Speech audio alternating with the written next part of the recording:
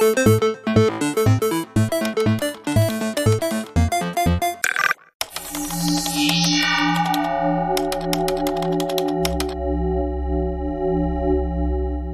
hallo. Äh, Ich stelle euch heute The Weakest Link vor. Das ist eine Sammlung an Cross-Site Request Forgery Schwachstellen in den Web-Applikationen von Mobilfunkbetreibern. The Weakest Link deswegen, weil sich auch im Jahr 2020 noch immer Mobilfunkbetreiber als das schwächste Glied einer Sicherheitskette erweisen.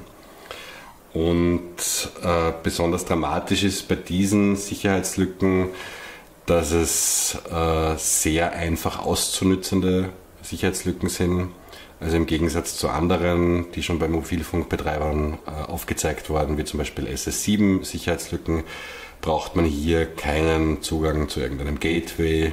Man braucht auch kein spezielles Know-how über das Core-Netzwerk von Mobilfunkbetreibern, weil es relativ simple, triviale Sicherheitslücken in den Web-Applikationen sind. Grundsätzlich beginnt sehr viel mit einem langweiligen Newsletter, den man zugeschickt bekommt. Äh, wie ihr hier seht, ähm, habe ich im Jahr 2020 26 Mal einen Newsletter mit dem Titel Treppenlift aktuell äh, zugeschickt bekommen. Das jetzt nur als Beispiel, dieser Treppenlift-Newsletter hat mich nicht gehackt, äh, aber es ist ein Beispiel für einen langweiligen und nervigen Newsletter. Die ersten zwei Male, wenn man so etwas bekommt, ignoriert man es noch. Äh, wenn man so etwas 26 Mal bekommt, wird, glaube ich, jeder von euch oder die meisten von euch wären, glaube ich, schwach und klicken dann irgendwann einmal drauf, äh, scrollen ganz runter bei dem Newsletter und finden dann das erlösende, äh, den erlösenden Unsubscribe-Link. Und wenn man dann draufklickt auf Unsubscribe, kommt so eine Website, oft von irgendeinem Newsletter-Tool, äh, wo dann einfach draufsteht, Sie haben sich erfolgreich von dem Newsletter abgemeldet. Und in dem Fall denkt man dann, äh, dass man nie mehr wieder von diesen Treppenlift-Leuten hört. Es kann nur dann sein, einige Zeit später, wenn man sich versucht, zum Beispiel in seinem Google-Account oder woanders anzumelden, findet der Passwortmanager plötzlich kein richtiges Passwort ähm, und man ist von seinem Google-Account ausgelockt. Wenn man jetzt diesen Bezug herstellen kann, man hat gerade da auf einen äh, Unsubscribe-Link geklickt und äh, direkt daraufhin wurde man von seinem Google-Account äh, ausgesperrt, dann kann man vielleicht äh, ähm, sich diese Seite, die man da angeklickt hat oder die sich die geöffnet hat, noch genauer ansehen.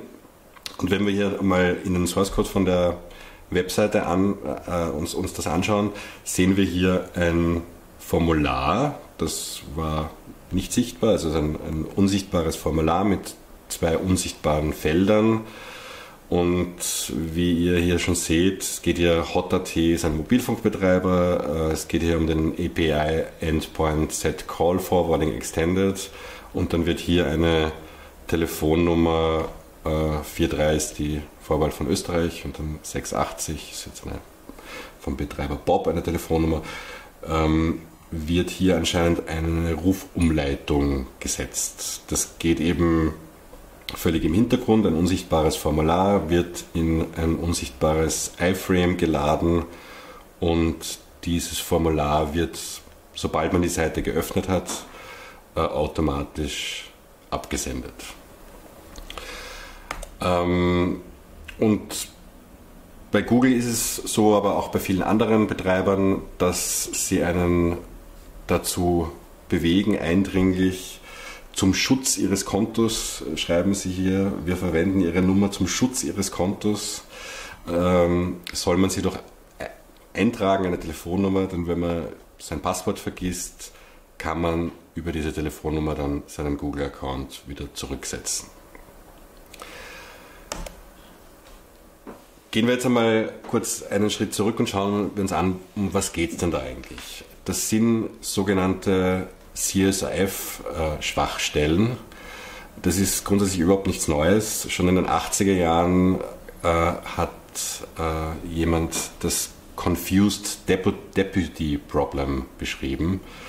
Da geht es grundsätzlich darum, dass ein äh, Programm mit weniger Privilegien ein Programm mit mehr Privilegien dazu bringt, äh, etwas auszuführen. Seit wir äh, das Web haben, äh, wird diese Schwachstelle, wenn der Confused Deputy der Webbrowser ist, Cross-Site Request Forgery genannt. Es wird eben als CSRF abgekürzt, manchmal CSRF ausgesprochen oder XSRF. Und in den meisten Fällen geht es darum, vor allem aus äh, Sicht äh, der angreifenden Person, um Session Writing, weil es um äh, Sessions geht, die mit Cookies äh, funktionieren. Das muss aber nicht sein, das werden wir dann noch ein bisschen später sehen. Äh, man kann auch eine Authentifizierung mit IP-Adressen machen, aber in den meisten Fällen ist CSRF auch Session Writing. Äh, wir schauen uns das jetzt noch einmal ein bisschen schematisch an. Äh, hier sehen wir ganz links unten einen Hacker oder eine Hackerin. Das sieht man jetzt nicht so, weil natürlich die Person eine Maske und eine Kapuze trägt, wie sich das gehört. Und äh, im ersten Schritt sendet diese Person einer Zielperson einen Link. Das muss aber auch nicht unbedingt ein Link sein. Äh, es geht darum, dass man irgendwie eine Zielperson bringt, eine kompromittierte Seite zu besuchen. In diese Seite im besten Fall oder im Normalfall ist das die eigene Seite aber es kann auch ein Forum oder irgendeine andere Seite sein, wo man HTML-Content einfügen kann. Im zweiten Schritt dann äh, sendet die Zielperson einen GET-Request an die kompromittierte Seite und bekommt dann im dritten Schritt den Payload in der Form, wie wir vorher gesehen haben, zum Beispiel eines Formulars äh, zurück und das Formular wird dann, sobald die Seite geöffnet ist, äh, abgeschickt und zwar an eine andere Seite. Ähm, und in dem Fall sind das Mobilfunkbetreiber, wo die Zielperson bereits äh, authentifiziert ist. Und dadurch, dass äh, dann die, der Server, auf dem die letzte Anfrage stattfindet, äh, glaubt, dass die Zielperson äh, diesen Befehl, diese Anfrage geschickt hat, äh, wird dieser Befehl, die Anfrage auch ausgeführt. Grundsätzlich, wie ich das zum ersten Mal äh, Personen erzählt habe, haben viele ein bisschen verwundert geschaut und gesagt, da gibt es doch die Same Origin Policy, die grundsätzlich dafür schützt, dass solche Cross-Site-Requests gemacht werden. Wie kann denn das passieren oder wie kann denn das im Jahr 2020 noch sein, dass so etwas durchgeführt wird? Das ist anscheinend eine sehr äh, übliche, äh, ein, ein, übliches Miss Missverständnis. Es ist grundsätzlich so, dass Same Origin Policy im Browser, im Webbrowser durchgesetzt wird. Natürlich nicht im Server. Und die sorgt dafür, dass Inhalte nicht gelesen werden können, die Cross-Sites geschickt werden. Eine Anfrage wird aber trotzdem ausgeführt. Das heißt, CSRF betrifft nur sogenannte zustandsverändernde Anfragen, State Changing Requests und nicht Anfragen, bei, der, bei denen einfach irgendeine Information ausgelesen wird. Wir sehen jetzt hier zwei Beispiele für State Changing Requests. Äh, also eins für ein nicht, eine nicht zustandsveränderte Anfrage ein Beispiel. Das ist zum Beispiel einfach hier Action ist gleich Info und dann würde man als Antwort die E-Mail-Adresse, Telefonnummer, alles Mögliche zu einem User bekommen. Diese erste eben nicht zustandsveränderte Anfrage ist nicht CSRF anfällig, weil man die Antwort nicht lesen kann und weil sich sonst dadurch nichts verändert aufgrund dieser Anfrage. Das heißt, einzige, das einzige Ziel dieser Anfrage ist, dass äh, Inhalte ausgegeben werden. Bei der zustandsverändernden Anfrage, die wir jetzt hier als zweites Beispiel sehen, äh, wird E-Mail ist gleich Attacker at evil.com als neue E-Mail-Adresse eingesetzt. Das heißt, hier wird der Zustand verändert. Hier wird nicht einfach nur etwas aus einer Datenbank ausgelesen, sondern etwas in eine Datenbank geschrieben. Die Antwort kann hier zum Beispiel Response ist gleich Success oder irgendetwas sein. Die Antwort kann ähm, eine attackierende, eine angreifende Person auch nicht lesen, braucht sie aber nicht, ähm, weil der Schaden ja schon angerichtet ist. Die E-Mail-Adresse wurde in dem Fall in der Datenbank von example.com geändert. Das heißt ganz wichtig, CSRF betrifft nur State Changing Requests, zustandsverändernde Anfragen. Und wir sehen uns jetzt äh, das Ganze einmal in einer ersten Demo an. Bei dieser Demo geht es um Ventocom. Ventocom ist ein sogenannter Mobile Virtual Network Enabler. Das heißt, diese Firma ermöglicht zum Beispiel Supermärkten, einem, einem, Supermarkt, einem Fußballclub und einem Kabelnetzbetreiber ihr eigene, ihre eigene Mobilfunkmarke zu betreiben. Ähm, das ist in dem Fall HOT. Äh, HOT ist Hofer Telekom für Deutsche. Hofer ist eine Tochterfirma von Aldi Süd ähm, gibt es eben in Österreich und in Slowenien. Das heißt Hot.at und Hot.si ist davon betroffen. Und es ist davon aber auch betroffen Rapid Mobile. Also das ist Rapid Wien ist ein Fußballclub und Livest Mobile das ist der Linzer Kabelbetreiber. Also insgesamt betroffene Accounts. Man weiß nicht genau, wie viele Personen jetzt betroffen sind, weil eine Person kann mehrere SIM-Karten haben. Aber betroffene SIM-Karten sind auf jeden Fall mehr als eine Million in Österreich und mehr als 100.000 in Slowenien. Es äh, werden wahrscheinlich schon um einiges mehr wieder sein, aber das sind die letzten Zahlen, die dazu offiziell bekannt gegeben worden sind. So, jetzt schauen wir mal hier uns das bei der Demo an und ich öffne den Browser. Ähm, Am besten zeige ich jetzt noch einmal, wie man sich hier auch einloggt.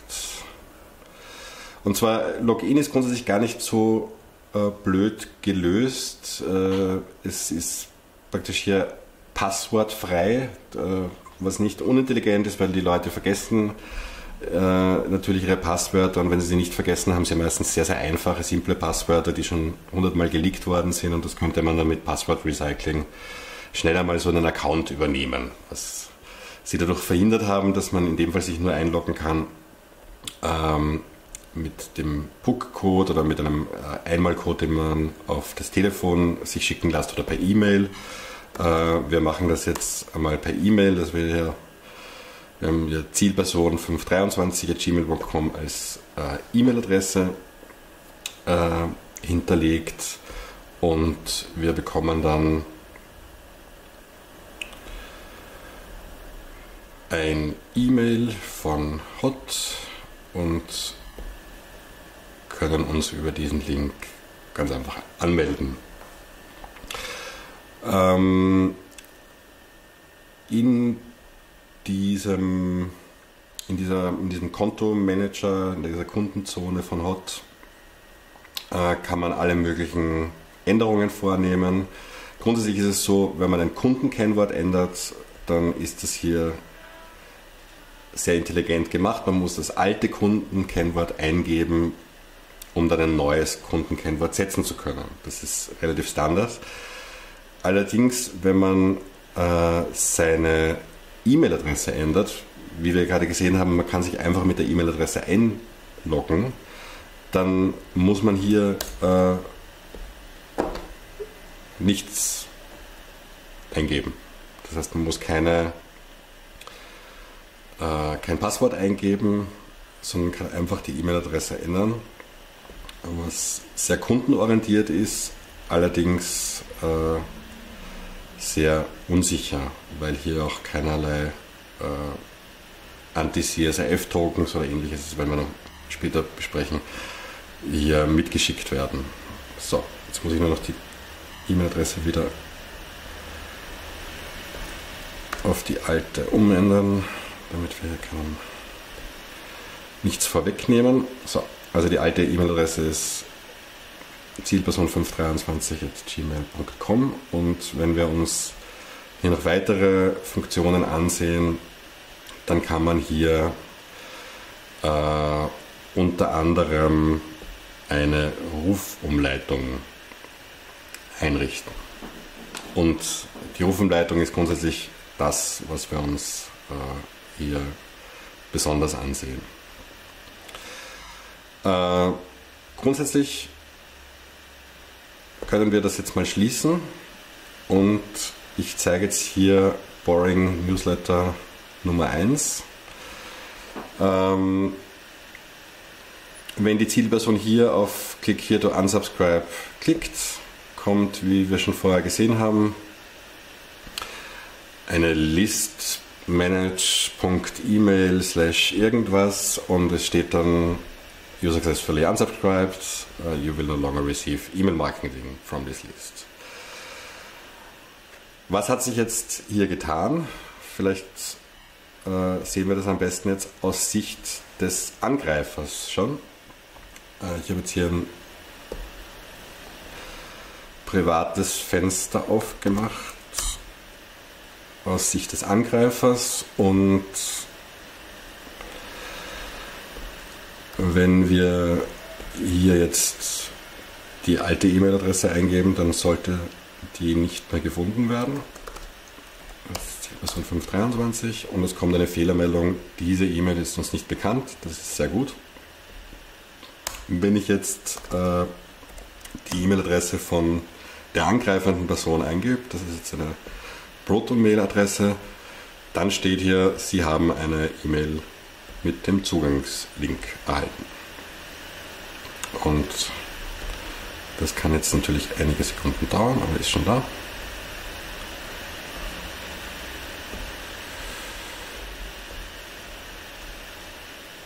Wenn wir diese öffnen, sehen wir, wir sind im gleichen Account wie vorher. Das heißt, wir haben uns jetzt mit der neuen E-Mail-Adresse hier einloggen können.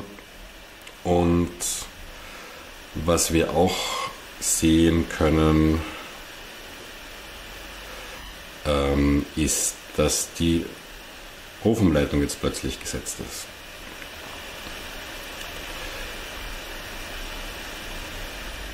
Das heißt, vorher war hier keine Rufumleitung und hier sieht man jetzt, ist eine Rufumleitung auf diese plus 43680 Nummer gelegt.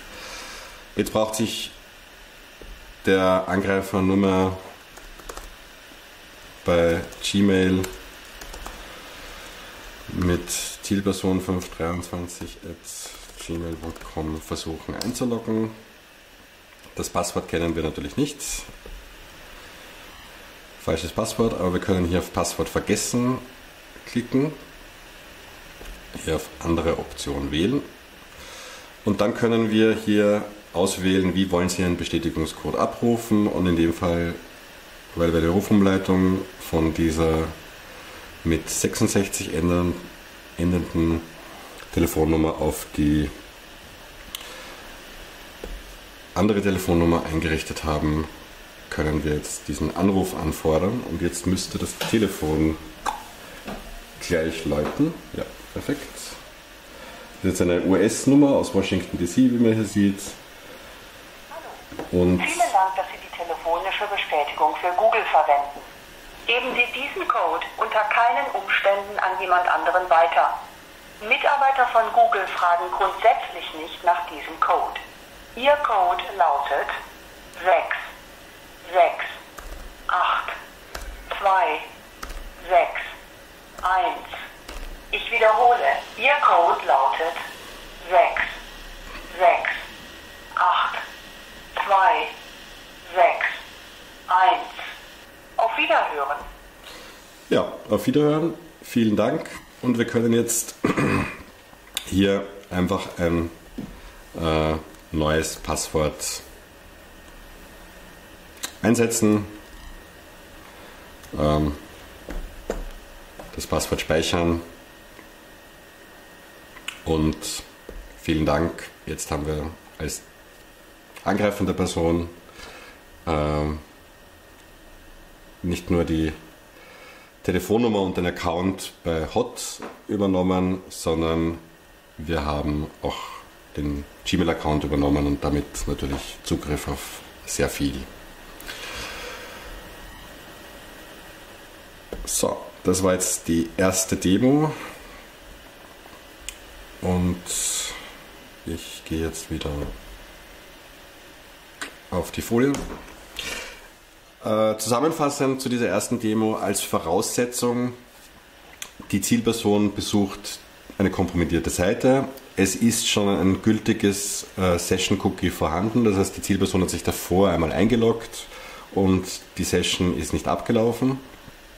Und, und das ist jetzt relativ speziell, bei dieser Variante, wo im Hintergrund ein Post-Request in ein iFrame geladen wird und man gar nichts davon mitbekommt, äh, das funktioniert derzeit nur bei Safari, sowohl jetzt auf iOS äh, als auch auf macOS.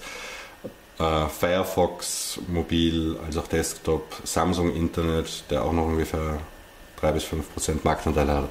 Und ja, Opera Mobile und Internet Explorer klarerweise ist auch nicht sicher. Ähm, werden wir gleich sehen, warum äh, nur diese Browser betroffen sind. Ähm, und natürlich als letzte Voraussetzung, wenn man auch noch einen anderen Account übernehmen will, muss natürlich die Telefonnummer für die Account-Wiederherstellung irgendwo eingetragen sein. Ansonsten würde aber auch hier bei Hot äh, natürlich kann man nur die äh, Rufumleitung benutzen, irgendeinen, irgendein Telefonat abzufangen. Man kann aber dadurch, dass man auch Persistence bekommt, also man hat äh, ja, den kompletten Account übernommen und kann die Rufumleitung ähm, auch, auch wieder abstellen. Und das ermöglicht jemanden Telefonate komplett mitzuschneiden. Weil man kann, sobald ein Telefonat bei uns angekommen ist, kann man die Rufumleitung abschalten und dann diese Telefonnummer anrufen und die äh, Gespräche weiterleiten. Das heißt, sobald man das hat, dass man die, Tele dass man die Rufumleitung wann man will aus- und einschalten kann, äh, kann man eben auch sämtliche Gespräche mithören. Also man braucht jetzt nicht unbedingt äh, das für einen Google-Account, sondern es reicht auch sonst schon, um einen Schaden anzurichten. Ähm, warum geht das nur bei speziellen Browsern? Das liegt daran, dass äh, es etwas relativ Neues gibt. Diese Spezifikation äh, wurde 2016 das erste Mal vorgestellt und in der Form, in der sie jetzt äh, zumindest Chrome übernommen hat, äh, erst Mitte 2019 ähm, wurde das präsentiert. Äh, wenn man ein Cookie in den Header, in, einer, in, in den Headers von einer Anfrage äh, setzt, ähm, mit diesem Set-Cookie-Befehl, kann man eben noch ein Same-Site-Attribut dran fügen. Ähm, das gibt es in drei verschiedenen Formen. Same-Site ist gleich None, äh, Same-Site ist gleich Lax und Same-Site ist gleich Strict. Äh, wie ihr hier seht, ähm, wird bei Strict äh, gar kein Cookie Cross-Site äh, weggeschickt, also mitgeschickt.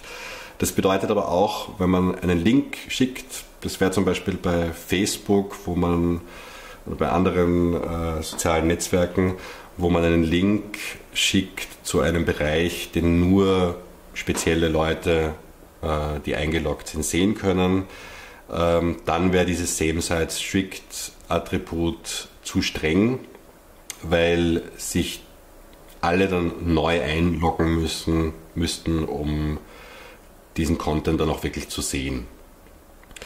Äh, beim Same-Site ist gleich Lux-Attribut ähm, werden nur Post-Requests geblockt, also dass die Cookies mitgeschickt werden bei Post-Requests. Ähm, Cross-Site-Post-Requests, äh, genauso wie bei iFrames oder wenn man es in einem Image-Tag also einfügt.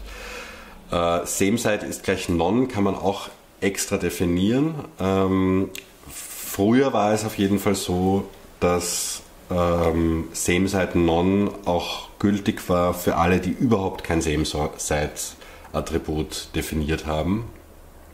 Und genau hier äh, gibt es jetzt eben den Unterschied zwischen verschiedenen Browsern. Äh, Chrome hat im Sommer dieses Jahres ähm, und dadurch wurde, wurden auch Edge und Opera Des Des Des Desktop ähm, ähm, haben, haben, das auch übernommen, haben jetzt das Same-Site ist gleich Lux, äh, Lex Attributes als Standardwert genommen.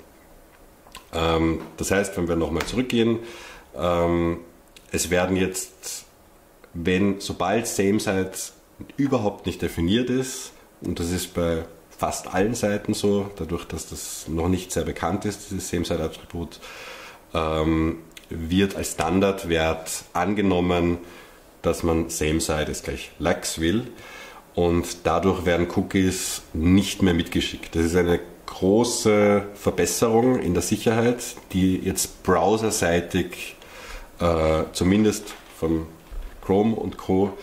Äh, durchgesetzt wurde, um Developer, aber auch natürlich die äh, Userinnen und User vor äh, diesen CSRF-Angriffen zu schützen.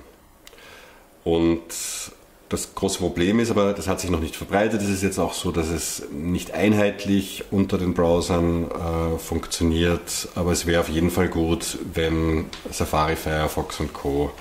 das auch übernehmen würden, weil das schon auf jeden Fall einen sehr hohen Schutz bietet, damit viele dieser CSRF-Attacken ins Leere laufen. Es ist aber nicht so, dass damit alles ähm, alles ausgemerzt ist oder alle CSRF-Attacken unmöglich gemacht werden, äh, nämlich dann, wenn zustandsverändernde Anfragen über GET-Requests geschickt werden. Das sollte man eigentlich nicht als Developer ähm, machen, aber es ist trotzdem oft leider so, dass zustandsverändernde GET-Anfragen existieren. Wie zum Beispiel bei dem zweiten Demo, das wir jetzt sehen, beim Mobilfunkbetreiber 3. Das ist jetzt kein virtueller Mobilfunkbetreiber, sondern ist ein, äh, in Österreich eine Tochterfirma von einem sehr großen Konzern in Hongkong mit, äh, glaube ich, momentan acht Ländern, äh, in denen äh, drei seine Dienste anbietet. Und in Österreich sind hier allein 3,9 Millionen Accounts betroffen. Wie viele Personen das sind, äh, kann man nicht ganz genau sagen, aber es sind auf jeden Fall ein bisschen weniger, weil es einige Menschen gibt, die mehrere SIM-Karten haben. Schauen wir uns jetzt äh, diese zweite Demo an. Ähm, aus Sicht wieder der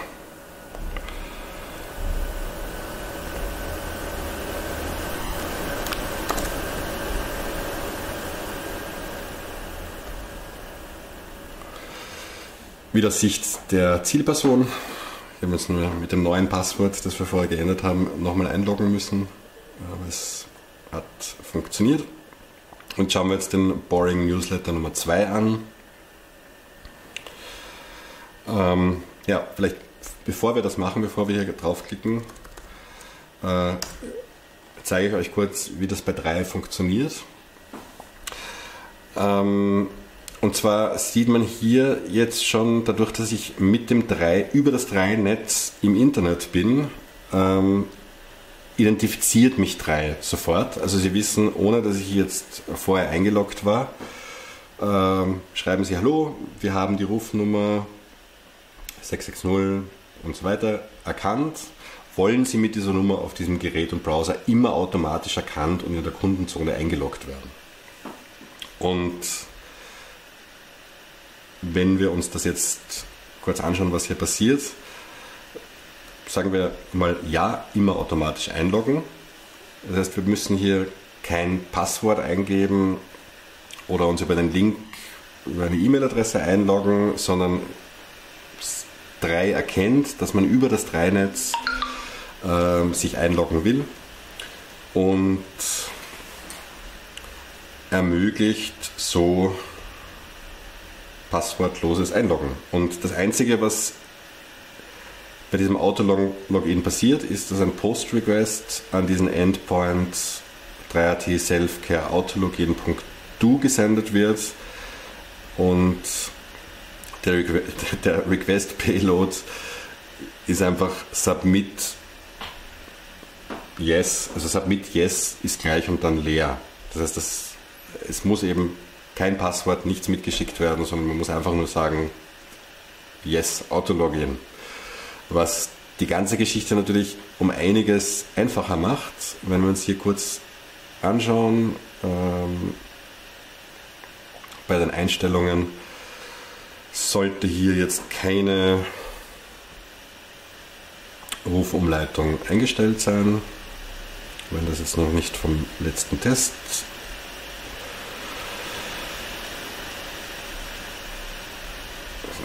So, hier seht ihr, alle, Anruf, alle Anrufe umleiten ist auf ausgestellt.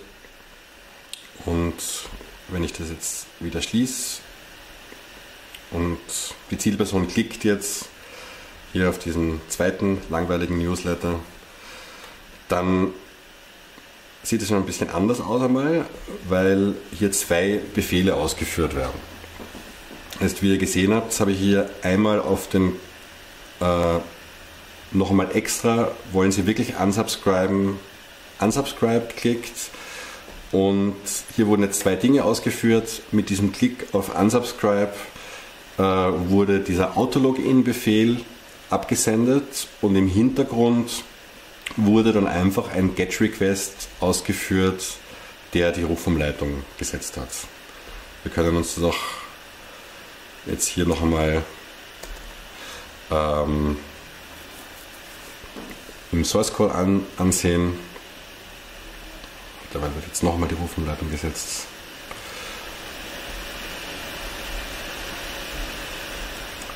Okay, ja, das Problem ist, das geht jetzt leider oder nicht durch die, dadurch, dass die Weiterleitung passiert ist, aber ihr seht grundsätzlich, was passiert ist. Und wenn wir jetzt hier uns das noch ansehen,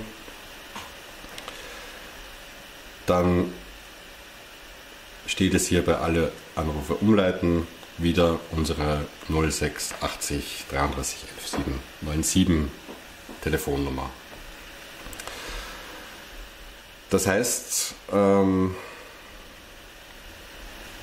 es geht extrem einfach, so eine Rufumleitung zu setzen. Die Voraussetzungen als Zusammenfassung wieder auf jeden Fall eine Zielperson besucht eine kompromittierte Seite und dann ist entweder ein gültiges Session Cookie vorhanden, weil sich die Zielperson davor schon bei dieser drei Kundenzone angemeldet hat oder ein Autologin wird mit diesem zweiten Klick, klicken, also wo auf dieser Unsubscribe-Seite seid, klicken Sie bitte hier noch auf Unsubscribe, um Ihren, Ihre Abmeldung zu bestätigen. Oder mit diesem zweiten Klick wird der Autologin eingeführt. Das heißt, in dem zweiten Fall muss sich eine Person niemals davor bei der Kundenzone angemeldet haben. Es muss kein Session Cookie vorhanden sein äh, und man kann trotzdem eine Telefonnummer, eine Rufumleitung setzen auf eine Telefonnummer und dann wie, das habe ich jetzt nicht gezeigt, ähm, äh, natürlich wie vorher zum Beispiel einen Gmail-Account übernehmen.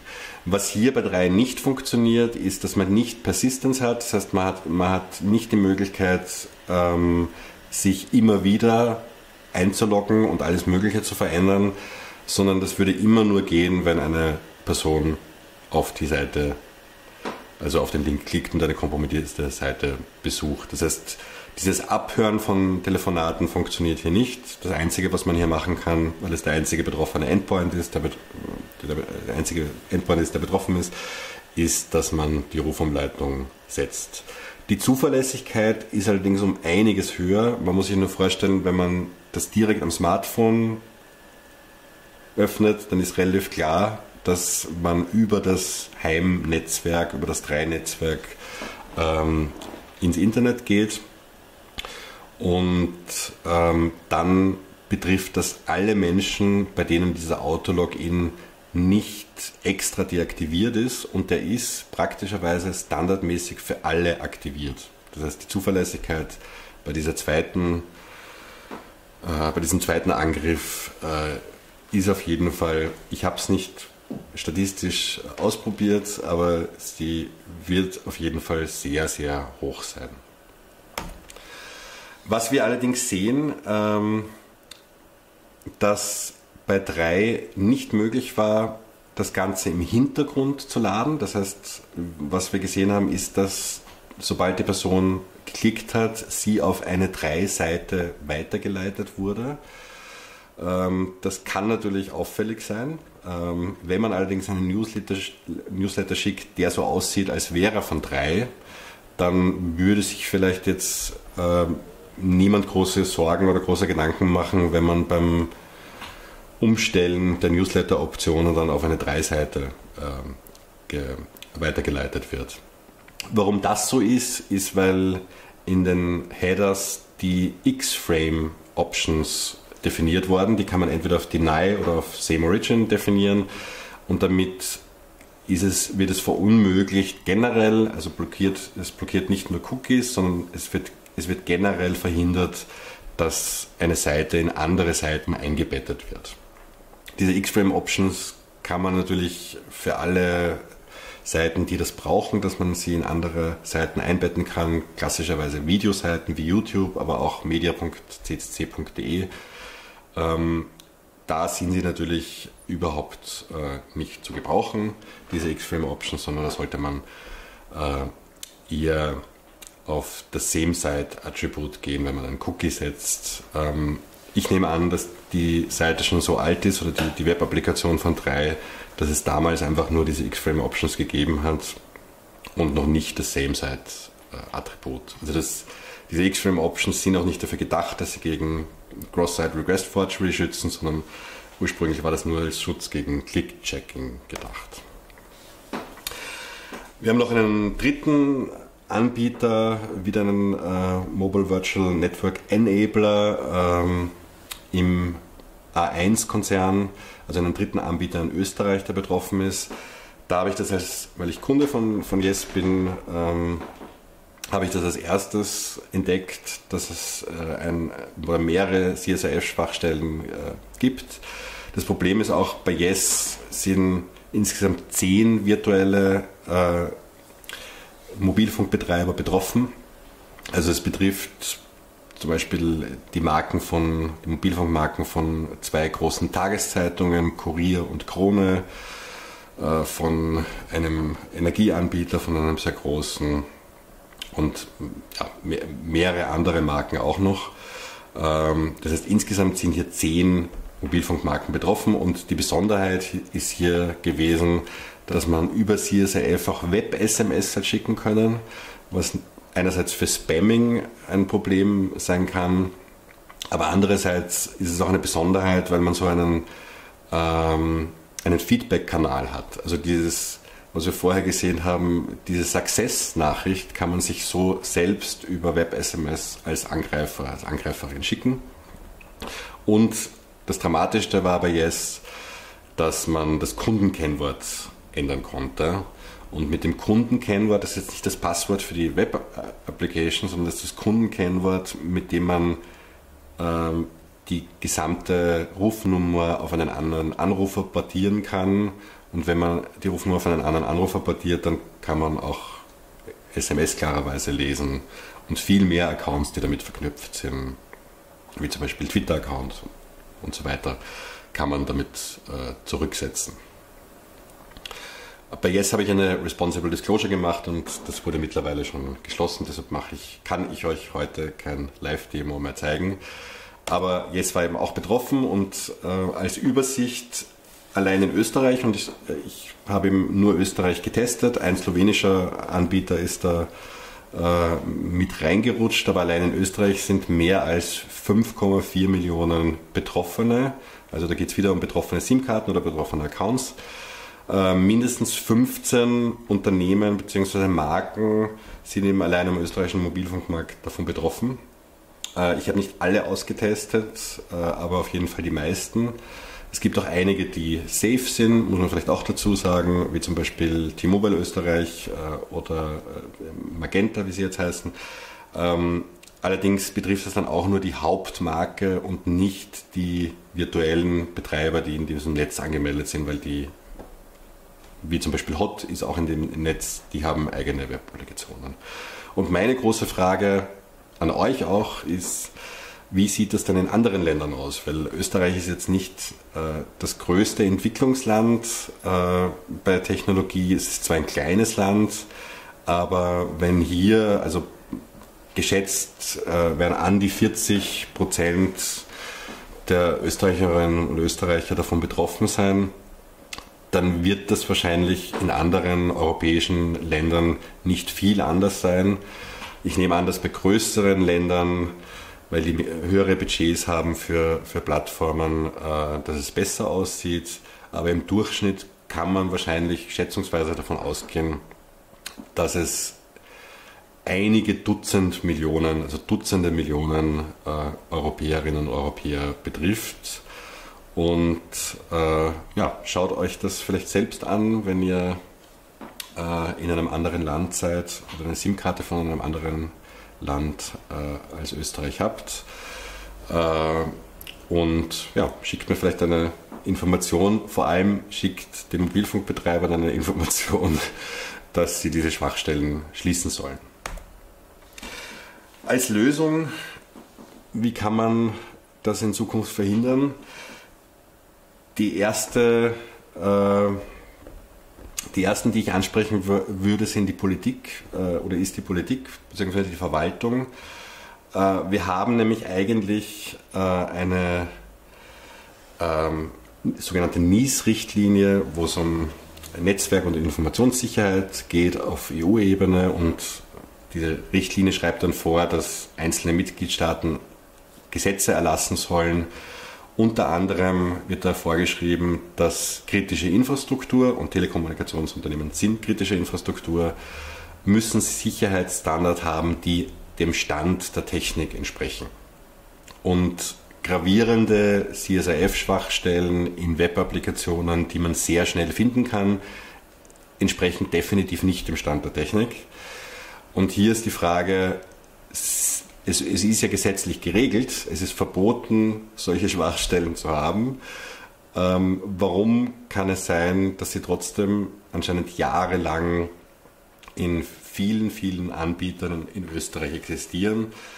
Das kann nur daran liegen, dass es keine Strafen gibt, also dass die Sanktionen zu niedrig sind und dass es auch keinerlei Haftung gibt. Also ich bin mir ziemlich sicher, dass zum Beispiel die Tageszeitungen Krone und Kurier in Österreich, die ihre, ihre Mobilfunkangebote an ihre Leserinnen und Leser bewerben, dass sie sich nicht im Klaren darüber waren, auch wenn diese Lücke jetzt mittlerweile geschlossen wurde, ähm, dass sie Produkte bewerben, die massive Sicherheitslücken haben. Sie werden es wahrscheinlich nie mitkriegen, außer wenn Sie diesen Talk hören oder davon erfahren dass sie Produkte betrieben, vertrieben haben, die solche Sicherheitslücken haben. Das heißt, es muss irgendwie eine, es müssen strengere Sanktionen äh, und in irgendeiner Weise Haftungen äh, sollten existieren, damit so etwas nicht passiert. Und es sollten aber auch die Rahmenbedingungen für eine Responsible Disclosure verbessert werden, beziehungsweise für Bug Bounty ich kann mir nicht vorstellen, bei 4,5 Millionen betroffenen Accounts, dass ich der Erste bin, der darauf gekommen ist, dass diese Sicherheitslücke existiert. Es ist, wie gesagt, keine wahnsinnig schwer zu entdeckende Sicherheitslücke. Sie muss jahrelang, müssen sie existiert haben. Ähm, nur wer schon mal eine Responsible Disclosure gemacht hat, äh, weiß, dass man dann nicht mit Dank überschüttet wird, wenn man eine Sicherheitslücke meldet, sondern dass die Firmen meistens überhaupt keine Policy dafür haben. Also sie wissen gar nicht, wie sie damit umgehen sollen.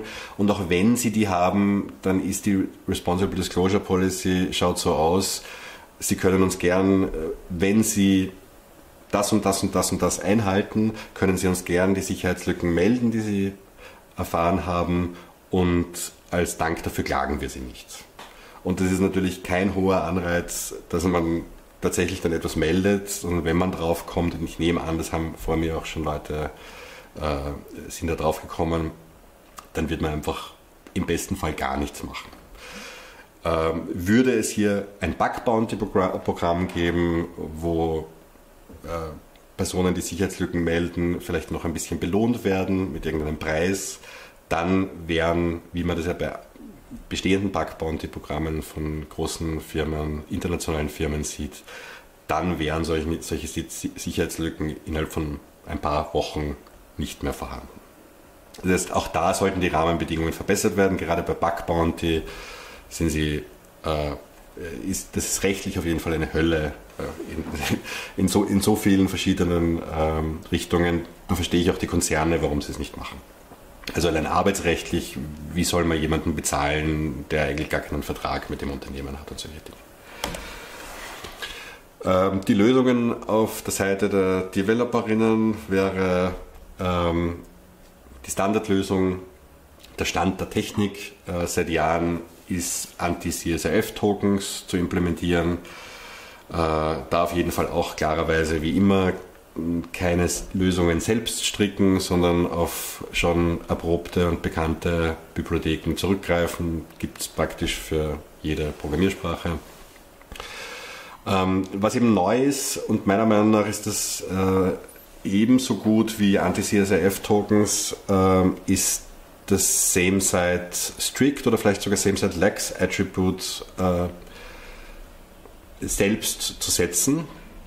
Es geht viel einfacher, weil man das eigentlich nur äh, im, im, im, Server definieren muss mit einer äh, Zeile in einem HTXS-File oder, oder direkt in den Server Webserver-Einstellungen. Äh, das geht ja irrsinnig einfach und ist vielleicht äh, sogar die bessere Lösung, aber da ja, würde ich vielleicht auch, auch gern euer Feedback hören, ob ihr auch so denkt. Die allerbeste Lösung und auf jeden Fall die, die bei wichtigen zustandsverändernden Anfragen ähm, auch Standard sein sollte, ist die Passwortabfrage, wenn es wichtige Änderungen gibt. Also wenn ich mein Passwort ändere, dann muss ich mein altes Passwort eingeben. Wenn ich jetzt meine E-Mail-Adresse ändern kann, mit der ich mein Passwort zurücksetzen kann, dann sollte man natürlich auch hier eine Passwortabfrage machen.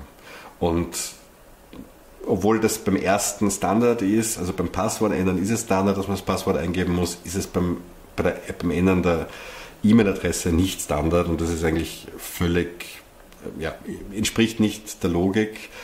Und klarerweise bei Mobilfunkbetreibern sollte man so etwas auch bei der Rufumleitung machen. Ähm, die Lösung von der Browserseite haben wir schon äh, diskutiert. Es wäre auf jeden Fall höchste Zeit, dass alle Browser dieses Same Side gleich Lux als Standardwert nehmen. Chrome hat das jetzt schon seit ungefähr sechs Monaten implementiert. Äh, das Internet ist nicht auseinandergebrochen. Äh, Chrome hat einen Marktanteil von ungefähr 50, in manchen Ländern 60 Prozent.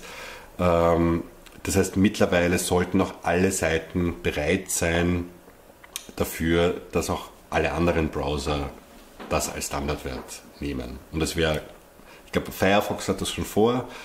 Ähm, man kann es zumindest schon aktiv in den Einstellungen ändern. Äh, bei Safari, äh, die doch auch einen hohen Mark Marktanteil haben, äh, wäre das auf jeden Fall höchste Zeit, das in Angriff zu nehmen. Ähm, es gibt aber auch eine Lösung für Betroffene. Also die gute Nachricht ist, ihr müsst euch nicht darauf verlassen, dass andere diese Sicherheitslücken schließen. ihr könnt euch auch selber davor schützen. Und zwar, das erste ist auf jeden Fall, ähm, nehmt keine Telefonnummern zur Account-Wiederherstellung von euren E-Mail-Accounts. Also es ist, wie gesagt, der weakest link, das schwächste Glied in einer Sicherheitskette sind die Mobilfunkbetreiber. Ähm, nehmt für eure E-Mail-Adressen eine zweite E-Mail-Adresse, mit der ihr die Account Recovery machen könnt, weil grundsätzlich sind, was Web Security und generell Internet praktisch, wenn man sich kein Passwort merken muss, aber es ist eine massive äh, Sicherheitslücke, nicht nur was CSRF-Schwachstellen betrifft. Ähm, auch die Telefonnummer als Account Recovery, äh, da geht es nicht nur um CSRF-Schwachstellen, wie wir schon äh, auch beim CCC-Kongress in anderen Jahren gehört haben, gibt es andere Schwachstellen. Äh, die ausgenutzt werden können. Das heißt, das ist generell eine schlechte Idee. Was jetzt CSRF äh, betrifft, kann man das ganz einfach umgehen, indem man sich bei wichtigen Accounts nicht mit seinem Standardbrowser äh, einloggt. Das ist der Standardbrowser ist der, der sich automatisch öffnet, wenn ihr irgendeinen Link klickt.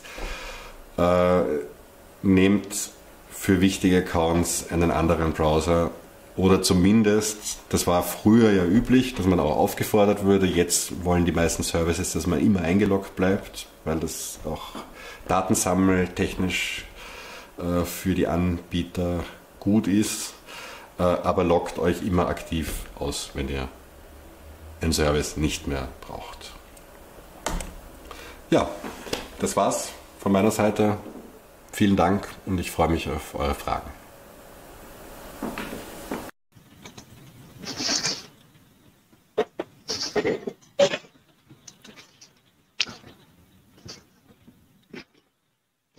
Ja, vielen Dank für den interessanten Vortrag. Ähm, manche der Fragen, die gestellt, die gestellt worden sind, hast du tatsächlich in den letzten fünf Minuten teilweise schon beantwortet. Eine Frage ist, ähm, sind die Lücken schon an die jeweiligen Anbieter gemeldet worden? Und wie haben die darauf reagiert? Also du hast gesagt, die Lücke bei Yes konntest du nicht vorführen, weil die schon zu ist. Aber wie viele von den 14 anderen haben da vernünftig reagiert? Genau, also bisher habe ich nur die Lücke bei Yes gemeldet, weil der Mutterkonzern A1 eine Responsible Disclosure Policy hat und dadurch auch einen Kontakt. Die anderen beiden ähm, Betroffenen äh, haben überhaupt keinen Security-Kontakt und dadurch ist es denen noch nicht bekannt. Bei Yes haben sie das, äh, also ich habe sie dann am 12. Oktober gemeldet und am 13. November äh, wurde es geschlossen da ist es relativ äh, professionell auch abgelaufen. Also innerhalb von 24 Stunden wurde das auch bestätigt, die Lücke. Ähm, es hat dann einen Monat deswegen gedauert, weil das ein externer Dienstleister ähm, für Software Development zuständig ist und dadurch hat die Implementierung ein bisschen länger gedauert.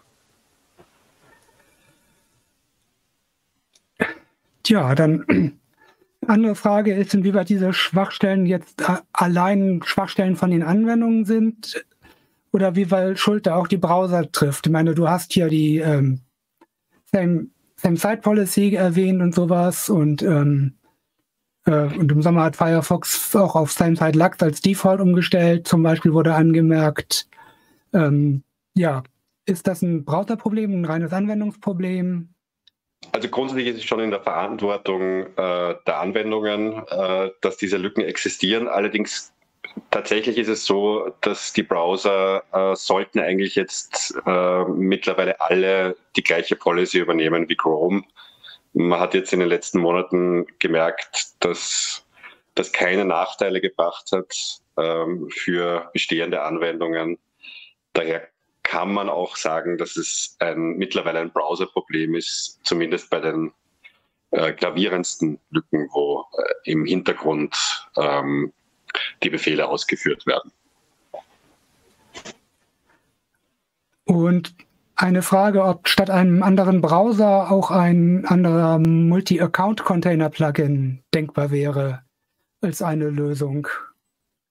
Das wäre natürlich auch eine Lösung. Ist vielleicht nicht die für alle Userinnen und User die einfachste äh, Lösung, ähm, aber das wäre natürlich durchaus eine Lösung. Ja, und ähm, wie schwierig ist es denn gewesen, so eine Schwachstelle zu finden? Also gefunden äh, können solche Schwachstellen innerhalb von äh, weniger als einer Stunde auf jeden Fall werden. Das ist die meiste Zeit muss man einfach die, die anfälligen Endpoints finden und dann sieht man sehr schnell, dass sie auch wirklich, äh, dass auch wirklich CSRF-Lücken bestehen. Ähm, das heißt eben, es ist jetzt keine äh, Raketenwissenschaft, solche Lücken zu finden. Ähm, und umso mehr liegt es in der Verantwortung äh, der Betreiber, solche zu schließen.